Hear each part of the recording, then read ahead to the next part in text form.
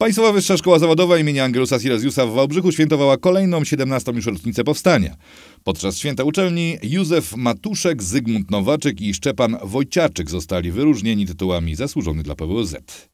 W uroczystych obchodach święta uczelni uczestniczyli parlamentarzyści, przedstawiciele władz samorządowych, duchowni, rektorzy zaprzyjaźnionych uczelni wyższych, przedstawiciele instytucji oświatowych i gospodarczych z terenu aglomeracji wałbrzyskiej, a także kadra naukowo-dydaktyczna wraz ze studentami.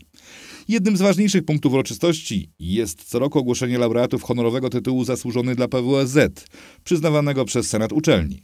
W tym roku w gronie nagrodzonych znaleźli się profesor Józef Matuszek, profesor nauk technicznych, wieloletni pracownik Instytutu Przyrodniczo-Technicznego, dr honoris causa Uniwersytetu Żylińskiego na Słowacji.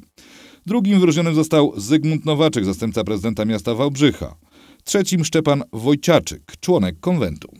Podczas uroczystości uhonorowano wybranych pracowników dydaktyczno-naukowych oraz administracyjnych. Pamiątkowymi dyplomami oraz nagrodami obdarzono także studentów, których doceniono za aktywną działalność w studenckich kołach naukowych oraz samorządzie studenckim. Ceremonię prowadziła ustępująca rektor uczelni Elżbieta Ląc. Rektorem elektem Państwowej Wyższej Szkoły Zawodowej im. Angelusa Jezusa w Wałbrzychu jest profesor Piotr Jurek. Uroczystość uświetniły występy uczniów zaprzyjaźnionego zespołu szkół muzycznych im. Stanisława Moniuszki w Wałbrzychu.